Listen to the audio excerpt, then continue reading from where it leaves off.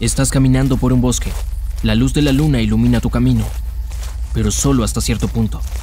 Más allá de eso, oscuridad y silencio. Silencio ensordecedor, interrumpido solo por el sonido de las hojas crujiendo bajo tus pasos.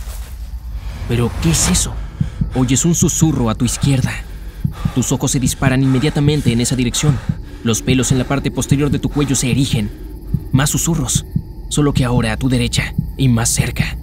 Tu corazón late más rápido. Tu respiración se acelera. Tus hombros se acurrucan para proteger tu cuello. Tu espalda se encorva para hacer lo mismo con tus órganos internos. Te ves como un cachorro asustado. Culpa a tus instintos animales. Ahora tienen el control y han comenzado a proteger tus áreas más vulnerables. Entonces, de la nada, la criatura salta y te agarra. Dejaste escapar un grito espeluznante. Y quítate los auriculares de RB. Has estado en la comodidad de tu hogar todo este tiempo. Sin embargo, la experiencia fue tan real, tu cuerpo reacciona a cada estímulo, iluminación, sonido, movimiento. Cuando te pones esas gafas voluminosas, estás entrando no solo en una realidad diferente, entras en un cuerpo virtual. Y ese cuerpo, en ese entorno, realmente puede engañar al tuyo aquí, en el mundo real. Pero volvamos atrás. Nadie se lanza de cabeza a la realidad virtual. Los juegos de terror no son para principiantes, déjame decirte. Cualquier novato en cualquier cosa va a pasos de bebé, ¿verdad? Comencemos de a poco. Tomaremos una silla para que no tengas que pararte mientras juegas. Eso solo puede ser vertiginoso, especialmente cuando el juego no te ha dado un cuerpo virtual. No puedes ver tus pies debajo de ti y puedes sentir que estás flotando. Bastante genial, pero algo desorientador, mirar hacia abajo y no ver lo que te sostiene. Y espera hasta que pruebes uno que no solo no te dé pies, sino que también te haga caer por un agujero. La reacción inmediata de tu cuerpo es agacharse y alcanzar el piso debajo. Sí, estás parado en el suelo, en el mundo real. Deberías poder sentirlo bajo tus pies. Pero simplemente no se registra en tu cerebro. Entonces, por ahora, toma asiento. Ah, eso está mucho mejor. Mm, ¿Qué tal un divertido juego de montaña rusa? Aquí vamos. En el momento en que te pones los auriculares, tu cuerpo, el real, es bombardeado con información sensorial. Tus pupilas se dilatan para dejar entrar la luz, los colores, las formas y los paisajes. Según lo que están sintiendo en este mundo virtual, envían un mensaje a tu cerebro. Estoy atado a una montaña rusa. Veo mi regazo debajo de mí, mis brazos a cada lado. La pista se extiende ante mí. Ahora la parte divertida. Agreguemos movimiento. Tus ojos ven que el coche de la montaña rusa sobresale y el paisaje comienza a moverse también. En el mundo real, tu cuerpo retrocede un poco, como la inercia que sientes cuando estás en un automóvil real o cualquier objeto en movimiento que acaba de despegar. Pero no te estás moviendo. Estás sentado en una silla frente al televisor. A tu cerebro no le importa, y lo que es más importante, tampoco a tu oído interno. Obtiene la información visual de tus ojos, nos estamos moviendo y reacciona en consecuencia. Mantén el equilibrio. Por lo tanto, ¿por qué tu cerebro retrocedió instintivamente solo para empujarte hacia adelante nuevamente? La montaña rusa comienza a subir la primera colina. Tic, tic, tic, tic. Estás lleno de ansias con cada clic. Miras hacia un lado. Puedes ver que está subiendo porque el horizonte está bajando. Entonces, miras hacia abajo. Gran error. Oh, eso es vertiginoso. Y físicamente lo sientes también. Casi te caes del lado de tu silla. Cuando estás tan alto sin barandilla contra la cual sostenerte, tu primera reacción es, quiero bajar ahora. Si tienes amigos o familiares cerca, probablemente se están riendo al verte, pero no te preocupes, llegará su turno y sus cuerpos no reaccionarán de manera diferente. Oh amigo, estamos casi en la cima.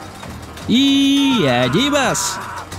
Sentado allí en tu silla, tu cuerpo se recuesta Piensas que estás siendo empujado por la montaña rusa que va cuesta abajo a velocidades increíblemente rápidas. Bueno, más bien la parte superior de tu cuerpo está tratando de quedarse donde estaba. Pero el auto está empujando la parte superior de tu cuerpo hacia adelante.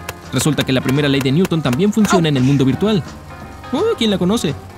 Antes de que puedas controlar lo que está sucediendo, llegas al primer chapuzón. Ah, mis tripas saltaron a mi garganta. Mientras tu cuerpo se encorva. Sí, sentado en esa silla sin movimiento, tu cuerpo crea el sentimiento por ti. Basado únicamente en la información visual que obtiene de esas gafas. La mente es una cosa poderosa, amigo. Pero no te preocupes, te acostumbrarás a la sensación. Y antes de que te des cuenta, ese juego de montaña rusa simplemente ya no te impresiona. Lo que una vez fue tan vertiginoso que pensaste que volverías tu almuerzo allí mismo, ahora es... meh. ¿Te has dado cuenta cuando juegas en realidad virtual? Avísame en los comentarios. Junto con algunas de tus recomendaciones de juegos favoritos, necesito un nuevo desafío. De todos modos, si estás demasiado familiarizado con la sensación de perder esa euforia, entonces sabes lo que significa. Es hora de subir de nivel. Abandona la silla, levántate y cortemos una fruta voladora. Ves una espada en cada mano, giras las muñecas, observa tus herramientas para cortar frutas y dales unos cuantos lanzamientos de práctica. Prepárate. Aquí viene un kiwi. Swing y perdiste una. Viste la fruta perfectamente bien, pero tu cerebro no reaccionó lo suficientemente rápido como para decirle a tu brazo que llevara la espada al lugar exacto en el momento adecuado. Esto significa que tu coordinación mano-ojo podría necesitar algo de entrenamiento, no practicas demasiado en el mundo real.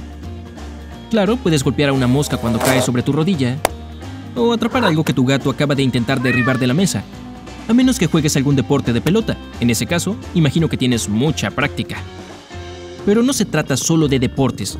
También se sabe que los videojuegos refuerzan la coordinación mano-ojo. Pero en realidad virtual, eso es 10 veces más.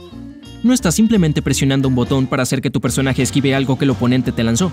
En realidad virtual, estás moviendo tu cuerpo, balanceando tus brazos, agachándote, inclinándote, mirando a ambos lados y reaccionando en consecuencia, como esa criatura en el bosque. Solo que no reaccionaste lo suficientemente rápido con eso.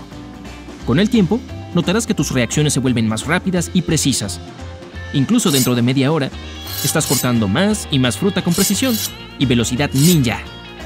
El progreso y la nivelación parecen ir más rápido en este mundo, pero al día siguiente es cuando lo sientes. Ah, mis brazos, mi espalda, mis muslos. Tuviste un buen entrenamiento ayer. Mejor tener cuidado y calienta la próxima vez. Si no eres un gurú del fitness, jugar realidad virtual regularmente puede significar usar músculos que has olvidado por completo o que ni siquiera sabías que tenías. Lo sé, no todos los juegos de realidad virtual son iguales. Hay otros tranquilos que te permiten dibujar obras de arte gigantes en la habitación. Puedes mejorar pacíficamente tus habilidades artísticas, mejorar el control de los movimientos de tus manos para crear todos esos detalles. Los musicales pueden hacerte sentir ritmo cuando no hace mucho tiempo tenías la gracia de un elefante en patines. No importa qué tipo de juegos de realidad virtual te gusten, hay una cosa que todos tienen en común, la fatiga visual. Probablemente comenzarás a sentir eso después de 5 o 10 minutos si eres nuevo en este mundo. ¿Recuerdas tus pupilas dilatándose con los cambios de luz? ¿Tus ojos sobresaliendo en todas las direcciones para atrapar esa fruta, zombie, pelota o lo que sea? Todo eso realmente puede cansar tus ojos. Pero, curiosamente, al igual que tus músculos, coordinación y equilibrio, tus ojos también se adaptan a la carga de trabajo. Te encuentras pasando mucho más de 15 minutos sin darte cuenta. Cuidado, tu juego te dice que tomes descansos por una razón. Por cierto, tus pupilas no solo se dilatan para dejar entrar más luz, las diferentes emociones también pueden cambiar su tamaño. Miedo, ira, alegría. Y eso no es solo en realidad virtual. Sin embargo, la luz y la emoción están relacionadas. Si estás aterrorizado, tus pupilas se harán más grandes para dejar entrar más luz. Esto hará que tu visión sea más nítida para que puedas notar el menor peligro y reaccionar ante él más rápido.